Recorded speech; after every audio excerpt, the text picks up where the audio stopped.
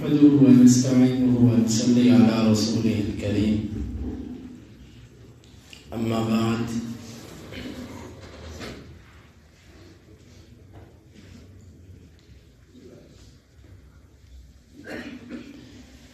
انسان کی زندگی کا صرف وہ لمحہ باعث فخر ہے اور اپنے دنیا میں آنے کے مقصد کو پورا کرنے والا ہے۔ جس لمحے انسان اپنی آخرت کی تیاری کرتا ہے۔ اس کے علاوہ جتنے اوقات ہیں، جتنی مصروفیات ہیں اور جتنے تعلقات ہیں، یہ سب کے سب قیامت کے دن انسان کے لیے باعث ندامت اور باعث حسرت ہوں گے۔ یہ زندگی عارضی ہے۔ کسی کو اپنی عمر کا پتہ نہیں۔ کوئی پچاس، کوئی ساٹھ، کوئی اس سے کم اور کوئی اس سے زیادہ۔ عمر کا کچھ حصہ یہاں سے گزار کے چلا جاتا ہے۔ رہتا کوئی بھی نہیں۔ اس عارضی زندگی کے لیے انسان اتنی محنت کرتا ہے کہ چوبیس گھنٹوں میں سے اس کے لیے سوائے آرام کے اور تفریح کے اور کوئی وقت نہیں بچتا کہ جس میں اس دنیا کے لیے یہ کچھ کرتا نہ ہو۔ اور اس کے مقابلے میں وہ زندگی جو نہ ختم ہونے والی، نہ مٹنے والی زندگی اس کی تیاری کیا ہے؟ اس کے لیے زیادہ راہ کیا جمع کیا؟ اس کی کوئی پرواہ نہیں۔ ہے حالانکہ دنیا کے معاملات میں بندہ ایسے نہیں ہے۔ دنیا کے معاملات میں اگر کوئی بندہ بظاہر کچھ نہ بھی کرتا ہو، اللہ تعالیٰ اس کو روزی دے دے گا۔ کیونکہ روزی کا ذمہ اللہ نے لیا۔ ہے مجھے ایک ایسے شخص کا علم ہے جس کو میں چند سال پہلے ایک جگہ پر ملا۔ کل ویسے ہی وہ بندہ میرے ذہن میں آ گیا۔ ایک بزرگ آدمی تھا۔ بیسیکلی وہ ادھر پنجاب کے قریب ہی ایک شہر ہے، وہاں کا رہنے والا تھا، سیال کوٹ۔ لیکن اس نے اپنی زندگی کا حصہ کراچی گزارا۔ کاروباری تھا۔ بس آخر عمر میں ایسے نقصان اس کو ہوئے کہ اس نے روح پوش ہو کے چھپ کر گمنامے کی زندگی گزارنے کے لیے ایک شہر پنڈی کا انتخاب کر دیا اس نے۔ تو مجھے ایک ساتھی کہنے لگے کہ آج آپ کو ایک عجیب شخص سے ملوانے لگا صرف اس کو پتا تھا اس کا۔ وہ بندہ میرے پاس آیا اور بڑی اس بندے کے اندر توازن تھی۔ وہ پہلی دفعہ مجھے ملا اور بزرگ تھا، لیکن میرے دل کے اندر اس کا بڑا احترام آیا۔ تو مجھے جو میرے ساتھی تھے، انہوں نے بتایا کہ وہ کہنے لگے کہ اس بندے کا آپ اندازہ کیجیے کہ یہ بندہ اس سے کام کوئی بھی نہیں کرتا۔ بس ایک ہوٹل میں ایک چھوٹی سی جگہ پر یہ رہتا ہے۔ اور اس میں خودداری اتنی ہے کہ یہ کسی سے مانگتا نہیں ہے۔ اس کو دو دو دن، تین تین دن گزر جاتے ہیں، یہ کچھ بھی نہیں کھاتا۔ قرآن پڑھتا، نماز پڑھتا اور پانی پی لیتا۔ ہے لیکن کسی سے سوال نہیں کرتا۔ تو کوئی نہ کوئی خود ہی اس کو دعوت دے دیتا ہے۔ اللہ کسی نہ کسی کے دل میں ڈال دیتا کہ دو اور میرے ساتھ بیٹھ کے کھانا کھا لو۔ وہ ایسے بندہ کل میرے ذہن سے گزر گیا کہ دیکھو کچھ بھی نہیں کرتا۔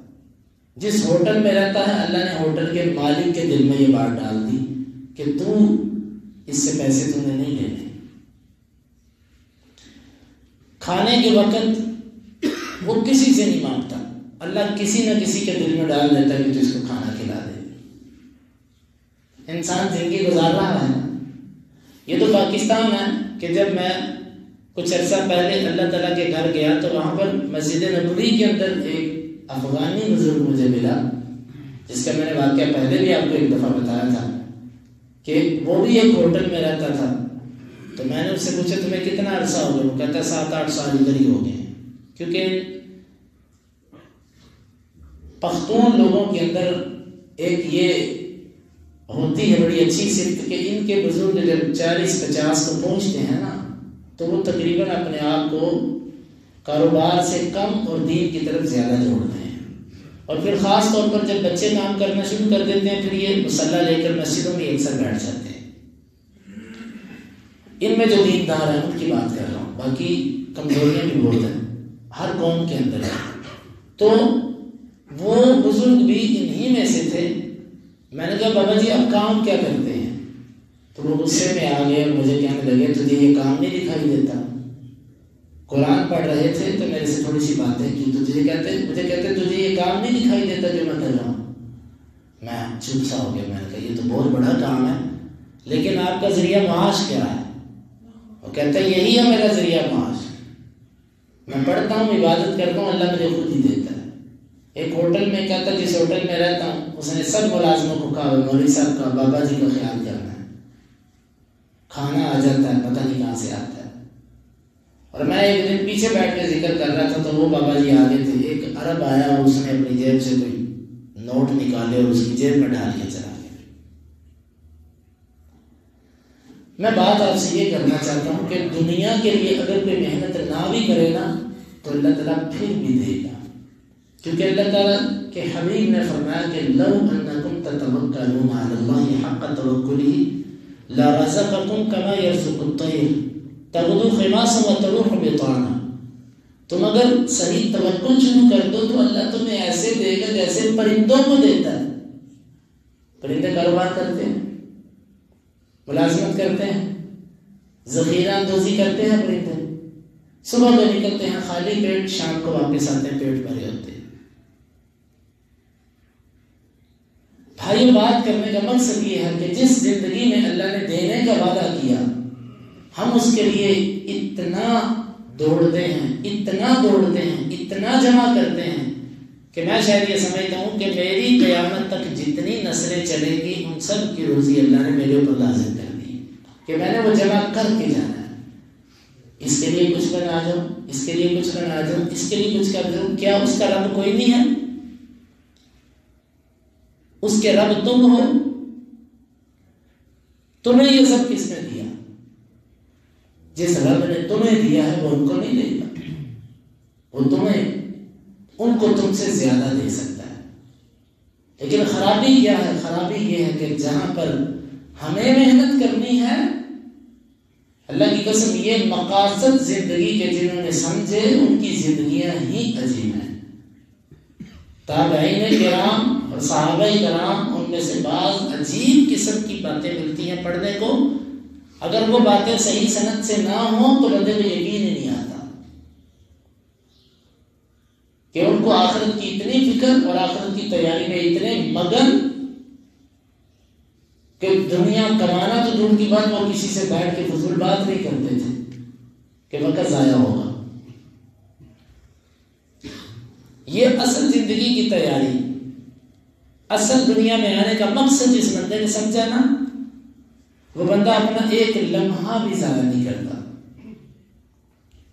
لیکن ہمارے ادھر کاروبار میں اتنے دھنستے ہیں ہم، فجر کی نماز زہر کی نماز اثر کی نماز، پانچوں نمازیں اور دین ہمارے ہاں ایک نفل کی حیثیت رکھتا ہے۔ نفل یہ ہوتا ہے کہ دل کیا تو کرو، دل کیا تو نہ ہم اتنے دیندار ہیں کہ دین ہمارے ہاں ہماری مرضیوں کے تابع ہے ہمارا دل کیا تو کریں گے، دل نہ کیا تو نہیں کریں گے۔ اتنی ہمارے ہاں اس کی اہمیت ہے۔ بھائیوں دوستوں بات کرنے کا مقصد میں اپنے آپ کو سب سے پہلے نصیحت کرتا ہوں، پھر اپنے ساتھیوں کو کہ ہم اپنی زندگی کے اوقات پر غور کریں کہ میں اپنے لیے آخرت کے لیے کتنا وقت دے رہا ہوں اور دنیا کو کتنا وقت دے اصل دوڑ اور سبقت اور مقابلہ تو آخرت کے لیے ہے۔ دنیا میں تو انسان کا پیٹ نہیں بھرنا۔ یہ بھی بنا لیا، یہ بھی بنا لیا، یہ بھی بنا لیا۔ اس کا پیٹ بھرتا ہی نہیں ہے۔ جب تک اس پر مٹی نہیں نہ پڑے گی، اس کی آرزویں ختم نہیں ہوگی اس کی تمنائیں ختم نہیں ہوگی اور انسان کا بس نہیں چلتا۔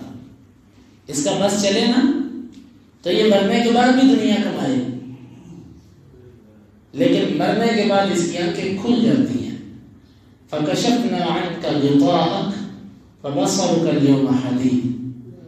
ہم نے آج کے دن تیری آنکھوں کے آگے جو پردے تھے، وہ ہٹا دیے۔ آج تیری نظر بہت تیز ہے۔ آج تجھے وہ کچھ دکھائی دے رہا جو تجھے دنیا میں دکھائی نہیں دیتا تھا۔ آج تیری نظر بہت تیز ہو چکی حقیقت یہ ہے کہ ہمیں اپنے نبی کی باتوں پر یقین کرنا چاہیے۔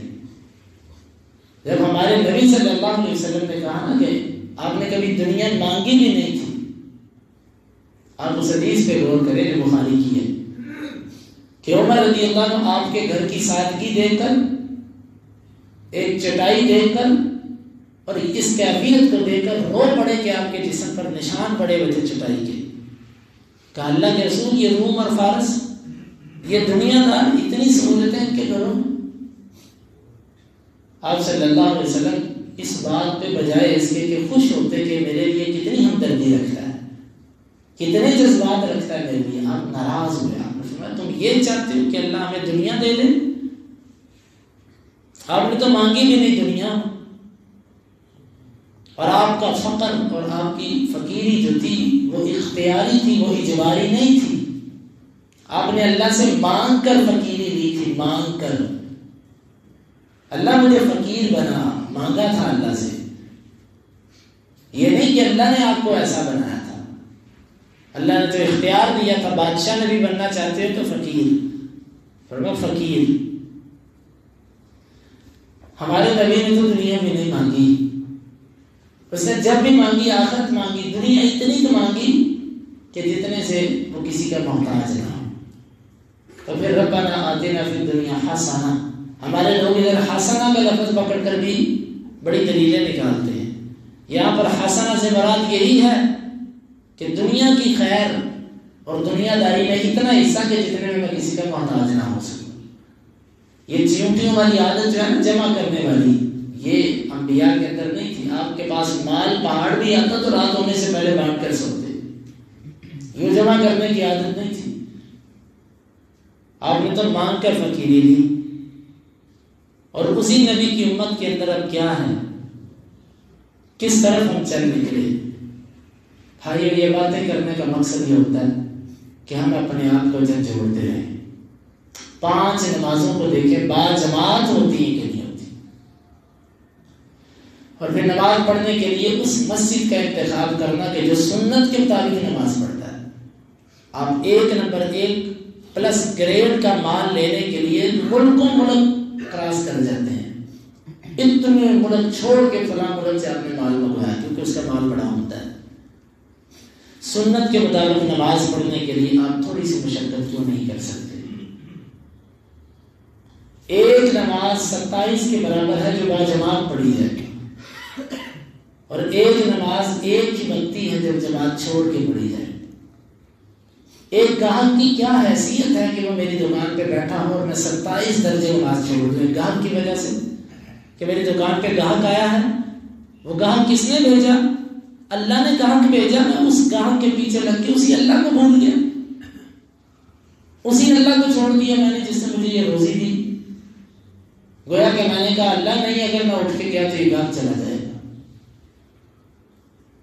کیوں جان بوجھ کر باجماعت نماز کو چھوڑا۔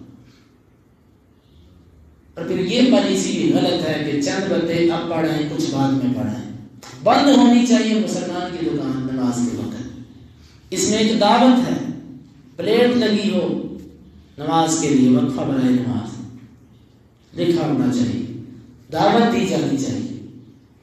آپ اپنا فریضہ پورا ادا کریں کہ جی میں مالک تھا میں نے اپنے سب باتوں کو کہا تھا کہ یہ پندرہ منٹ تمہارے نماز کے میں نے نکالے ہیں۔ فلاں مسجد ہے، اتنے منٹ جانے میں، اتنے منٹ آنے میں، اتنے منٹ کی نماز ہے۔ بس تم سنتے یہاں پہ آ کے پڑھو۔ سب نے جا کے نماز پڑھ لی۔ ہم اس رب کے دیے ہوئے میں ایسے مشغول ہوئے کہ اسی رب کو بھول گئے جس نے سب کچھ دیا تھا۔ یہ بھائیوں ہمیں اتنا دنیا میں کھبنا نہیں چاہیے۔ ہماری زندگی کے صرف وہی لمحے ہماری زندگی ہے جو لمحے ہم نے رب کو دیے اصل زندگی ہو اب ہم میں سے ہر بندہ دیکھے کہ میری عمر اگر ساٹھ سال ہے تو میں کتنے سال کا ہوں؟ میں تین سال کا ہوں، دو سال کا ہوں، پانچ سال کا ہوں۔ میں نے رب کو کتنا وقت دیا وہ میری عمر ہے۔